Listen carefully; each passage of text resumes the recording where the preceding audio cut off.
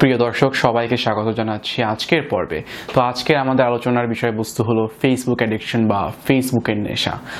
জিনিসটা শুনে মনে হতে পারে যে আমি হয়তো আপনার গার্জিয়ান বা প্যারেন্টের মতো বা বাবা মার মতো কথা বলছি, কিন্তু জিনিসটা কিন্তু আসলে খুবই গুরুত্বপূর্ণ। বিশেষ করে যারা অ্যাসপায়ারিং প্রোগ্রামার যারা অ্যাসপায়ারিং ইঞ্জিনিয়ার অনেক বড় স্বপ্ন আছে যাদের তাদের জন্য আসলে জিনিসটা জেনে রাখা এবং জিনিসটা সম্পর্কে জ্ঞাত থাকা খুবই গুরুত্বপূর্ণ।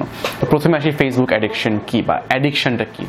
অ্যাডিকশন হলো যখন আপনি কোনো কিছু ক্রেভ করেন, সেটাই অ্যাডিকশন অ্যাডিকশন মানুষের খাবারে হতে পারে ড্রাগসে হতে পারে, মদে হতে পারে ফেসবুকে হতে পারে ইনস্টাগ্রামে হতে পারে যে কোনো কিছুতে মানুষের অ্যাডিকশন হতে পারে এবং অ্যাডিকশন কখনোই ভালো না। কারণ অ্যাডিকশন আপনার নিত্যদিনের জীবনযাপনে এক ধরনের বাধাই সৃষ্টি করে বলা যায়। ফেসবুক কী করে বাধা সৃষ্টি করে সেটা একটা উদাহরণ দিই। ধরুন আপনি আজকে একটা গোল নিয়ে নেমেছেন যে আপনি আজকে আর ল্যাঙ্গুয়েজটা শিখবেন। কিন্তু দেখা গেল যে আপনি আর ল্যাঙ্গুয়েজ তো শিখতে যাবেন, হঠাৎ করে মনে পড়ল যে আচ্ছা আর ল্যাঙ্গুয়েজ একটা টিউটোরিয়াল পেয়েছিলাম আর প্রোগ্রামার্স বাংলাদেশ নামে একটা গ্রুপে সেখানে একটু গিয়ে দেখি। তো আপনি ফেসবুকে ঢুকলেন। এখন ফেসবুকের মতো ওয়েবসাইটগুলো এমনভাবে ডিজাইন করা যেন আপনি সেগুলোতে হুকড হয়ে থাকেন। যেন একবার গেলে আপনি স্ক্রল করতেই থাকেন করতেই থাকেন করতেই থাকেন। যেমন আপনি যদি ফেসবুকের নিউজ ফিডটা দেখেন আপনি যতই স্ক্রল করতে থাকেন না কেন ওগুলো ইনফিনিট স্ক্রল তো আপনাকে নতুন মানে আপনার ইয়া যাকে বলে, নতুন কন্টেন্ট দিয়ে দিয়ে দিয়ে দিয়ে আপনাকে ব্যস্ত রাখবেই। নভেল কন্টেন্ট আসতেই থাকবে এবং ইওর ব্রেইন ক্রেভস নভেলটি যার কারণে আপনিও ওটাতে হুকড হয়ে থাকবেন এবং আপনি নতুন কন্টেন্ট দেখতে চাবেন দেখতে চাবেন। তখন হঠাৎ করে আপনি প্রায় আধা ঘণ্টা পর মনে হবে আপনার আচ্ছা আমি ফেসবুকে যেন কেন ঢুকেছিলাম? আপনি কমপ্লিটলি ভুলে যাবেন যে আপনি আসলে আর শেখার জন্য ফেসবুকে একটা গ্রুপের লিঙ্ক দেখতে গিয়েছিলেন। তো এটা আসলে খুবই কমন একটা অকারেন্স এবং এতটাই কমন যে আমরা আসলে দ্বিতীয়বার ভাবি না জিনিসটা নিয়ে। ওকে তো এটা কী করা যায়? তো আমি একটা দেখেছি যে ফেসবুকে আমি যে সময় নষ্ট করেছি, গড়ে আমি দিনে এক- এক সময় চার থেকে পাঁচ ঘণ্টা নষ্ট করতাম। তো ধীরে ধীরে ধীরে ধীরে আমি নিজে কিছু উপায় অবলম্বন করে সেই সময়টাকে অনেক কমিয়ে এনেছি।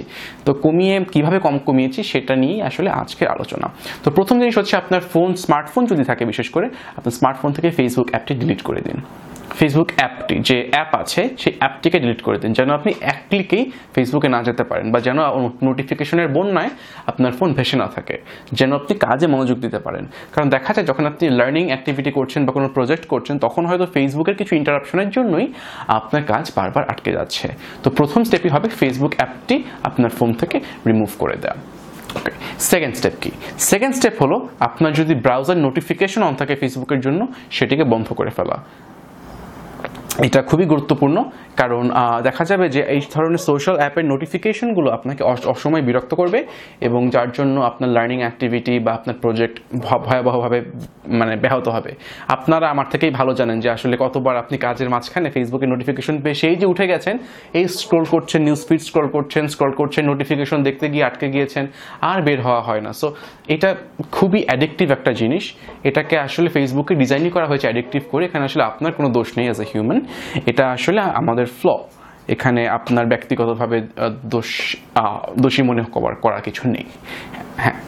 এবং থার্ড জিনিস যেটা হচ্ছে যে আপনি যখন ফেসবুকে স্কেডিউল করা যে আমি আসলে, আমাদের অনেকের হয় যে ফেসবুকে আমাদের অনেক অ্যাক্টিভিটি থাকে। যেমন আমাদের হয়তো যারা আমরা ইউনিভার্সিটি স্টুডেন্ট তাদের ক্লাসের আপডেটগুলো হয়তো ফেসবুকে আসে। সেক্ষেত্রে ফেসবুক ছাড়াটা আসলে খুব একটা যুক্তিসঙ্গত না।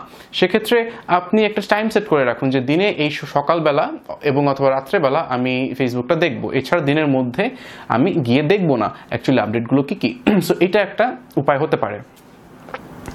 আর সেক্ষেত্রে আপনার যদি মেসেঞ্জিং করার প্রয়োজন হয়, সেক্ষেত্রে মেসেঞ্জার অ্যাপটা রাখতে পারেন বাট ফেসবুকের অরিজিনাল অ্যাপটা সেটা না রাখাটাই প্রবাবলি আপনার জন্য ভালো।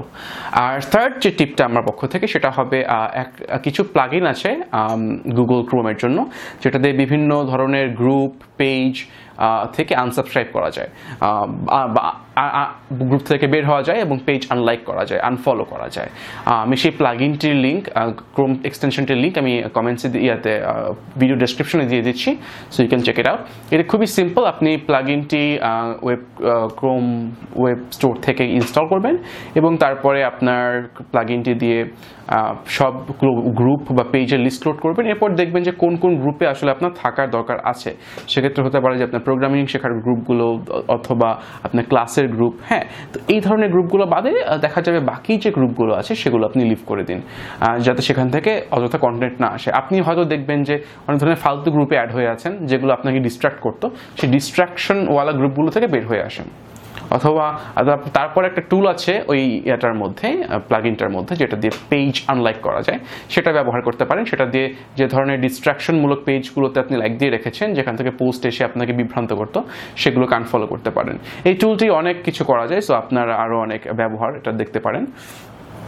এছাড়াও আরেকটি ক্রোম এক্সটেনশন আছে, যেটা দিয়ে নিউজ ফিড টোটালি হাইড করে ফেলা যায়। তো সেক্ষেত্রে আমি সেটাই রেকমেন্ড করব।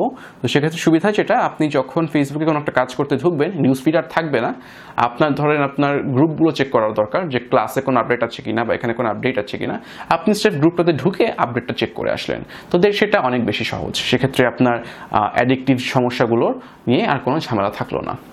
তো আজকে একটু দাদাগিরি করলাম বলা চলে, বা বাবাগিরি, মাগিরিও করলাম কিছুটা এই জন্য ক্ষমা করবেন। কিন্তু আমি, আমার ব্যক্তিগত পর্যবেক্ষণ অনুযায়ী আসলে এই ফেসবুক অ্যাডিকশন বা সোশ্যাল মিডিয়া অ্যাডিকশন আসলে আমাদের জীবনে শেখা বা কাজ করার সময় থেকে অনেক অনেক অনেক মূল্যবান সময় নিয়ে যায়। আমি এই জন্য ডিসিশন নিয়েছি যে, নিয়েছিলাম যে এটা নিয়ে একটা ডিসকাশন করা খুবই জরুরি। তো সকলকে ধন্যবাদ। সবাই ভালো থাকবেন। আর আপনাদের যদি কোনো টিপস থাকে, এই সোশ্যাল মিডিয়া অ্যাডিকশন নিয়ন্ত্রণ নিয়ে সেটা অবশ্যই কমেন্ট সেকশনে জানাবেন। আমরা হয়তো কোনো ফলো আপ ভিডিওতে সেগুলো মেনশন করব। সকলকে ধন্যবাদ। আজ আসছি।